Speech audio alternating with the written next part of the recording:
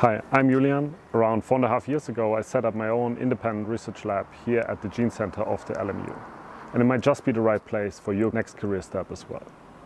The institute is placed at the heart of LMU's high-tech campus just on the outskirts of Munich and features all aspects of modern life science, including chemical biology, biochemistry, structural biology, functional genomics, and all the way to neurobiology and clinical medicine. And having this concentration of labs, institutes, fantastic scientists really creates a vibrant and collaborative research atmosphere. So let's take a look at the lab.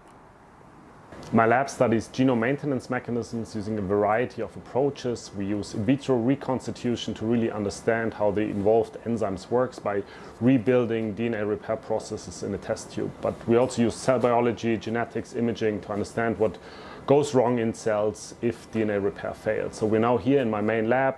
You can see here the main lab space with the benches of the PhD students and postdocs and their writing up spaces are here directly adjacent to the lab. Our work benefits and really requires state-of-the-art facilities here at the Institute, imaging, uh, proteomics, sequencing, cryo-electron microscopy. And you know, even if a particular instrument or technology is not available here in the Institute, it for sure will be available on campus. Setting up my lab at the Gene Center was the perfect choice. It's a small collaborative institute packed with excellent scientists.